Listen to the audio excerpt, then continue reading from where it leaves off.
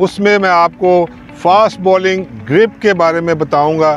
बहुत ज़्यादा देखने में आता है बहुत ज़्यादा लोग कहते हैं जी कि ये सीम से बाहर उंगली होनी चाहिए। इसको अगर ऑफ़ कटर कोई बॉलर करना चाह रहा है तो वो उसको कैसे कर सकता है? जब बॉल को डिलीवर करना है तो आपने लेग ब्रेक की तरह रिस्ट को जो है वो, वो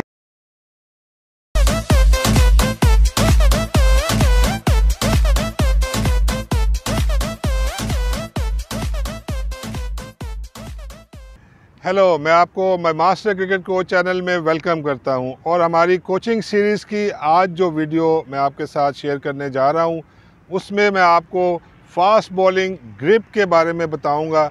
आपको पता है कि फ़ास्ट बॉलिंग जो है बड़ा एक इंपॉर्टेंट स्किल है और किसी भी टीम की जो है वो सक्सेस में विक्ट्री में फास्ट बॉलिंग बड़ा अहम किरदार अदा करती है।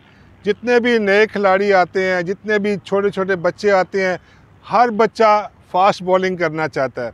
तो इसलिए जो बिगनर्स हैं, उनके लिए और इवन जो अच्छी क्रिकेट खेल रहे हैं या क्रिकेट को स्टार्ट कर चुके हैं, उनके लिए मेरा ख्याल है ये वीडियो अच्छी और एक सूदमंद वीडियो साबित होगी। उनकी जो है ना ग्रिप के लिए बड़ी हेल्पफुल होगी। पहले मैं आपके साथ जो शेयर करूँगा, वो एक बेसिक ग्रिप है कि बॉल की जो बेसिक ग्रिप वो क्या होती है? हर बॉल ये एक नया बॉल है और इस बॉल की ये देख रहे हैं ये सीम है, इसको सिलाई उर्दू में कहते हैं इंग्लिश में इसको सीम कहते हैं। इस सीम के, को पकड़ के आपने फास्ट बॉलिंग अपनी स्टार्ट करनी है।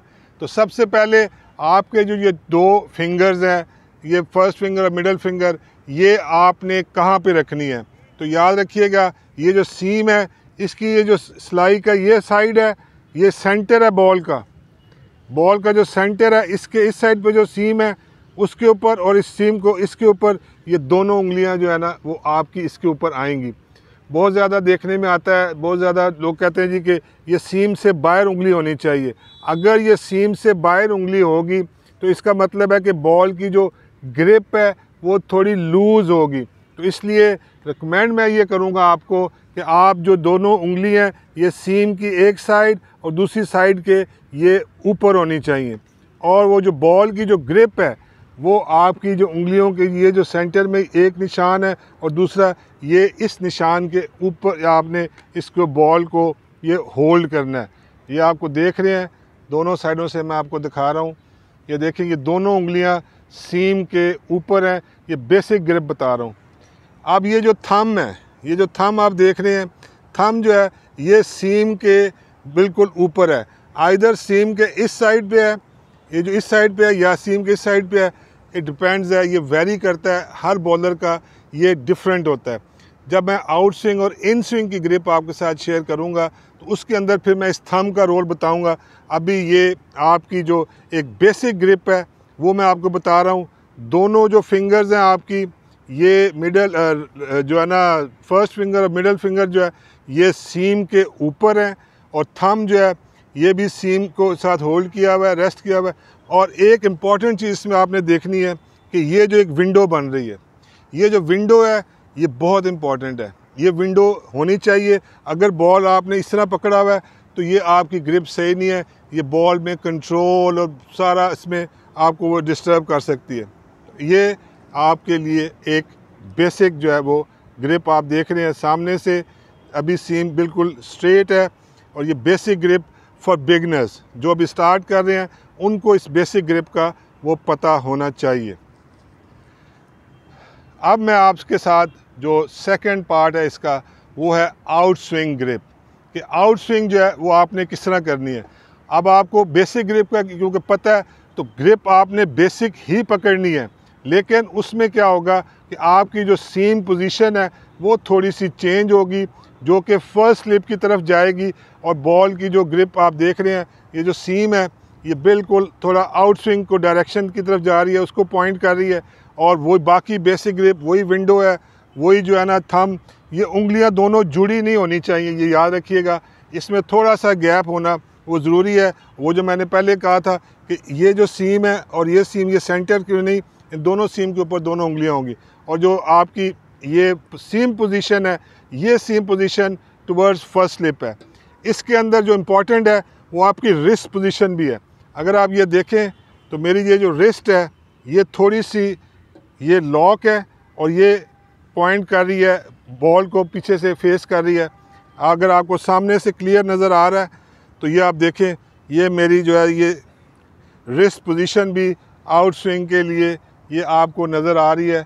और ये देखें, अगर मैं पीछे से दिखाऊँ तो ये रिस्ट पोजीशन जो है, ये थोड़ी सी टिल्ट है टूवर्ड्स और बॉल को ये पॉइंट कर रही है टूवर्ड्स फ़र्स्ट स्लिप तो ये तो थी जी हमारी आउट स्विंग ग्रिप अब इन स्विंग करने के लिए, दो स्विंग हैं जी, एक आउट स्विंग है, एक इन स्विंग है।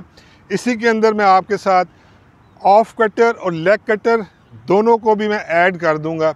वो भी थोड़ा एडवांस है, लेकिन मैं वो जो मतलब इम्प्रूव्ड बॉलर हैं, जो बॉलिंग अच्छे लेवल की क्रिकेट खेल रहे हैं, ये उनके लिए भी ये दोनों चीज़ें मैं शेयर आपके साथ करूँगा।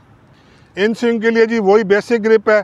इसमें सिर्फ़ जो आपका बॉल है, आप उसकी जो सीम की जो पोजीशन है, वो लेग स्लिप की तरफ़ चली गई हुई है।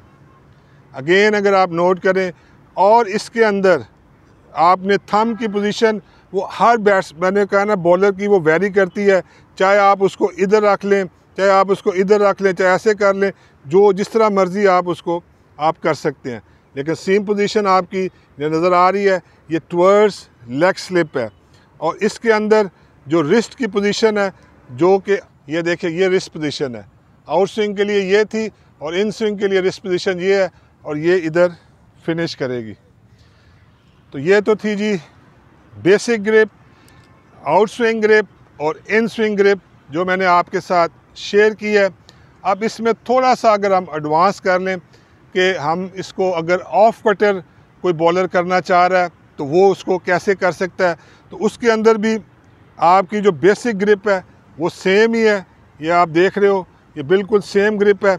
सिर्फ़ इसके अंदर आपने क्या करना है?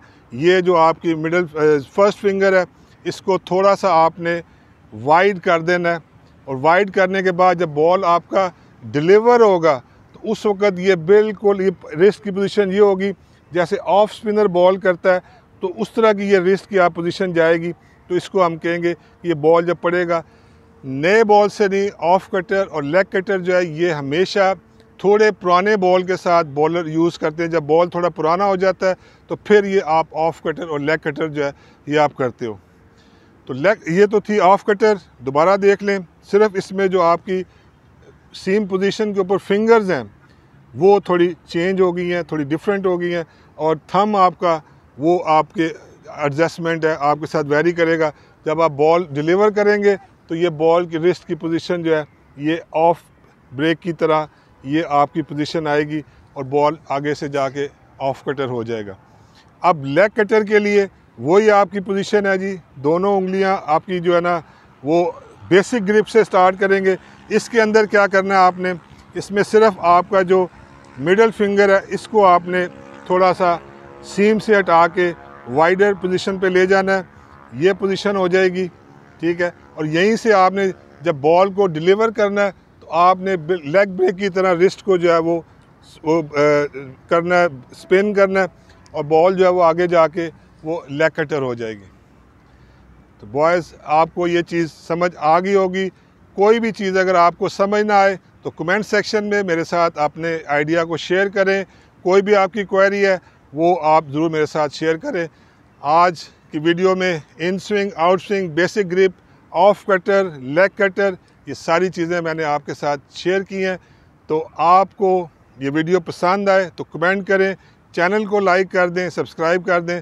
बहुत शुक्रिया थैंक यू वेरी मच अल्लाह हाफिज़।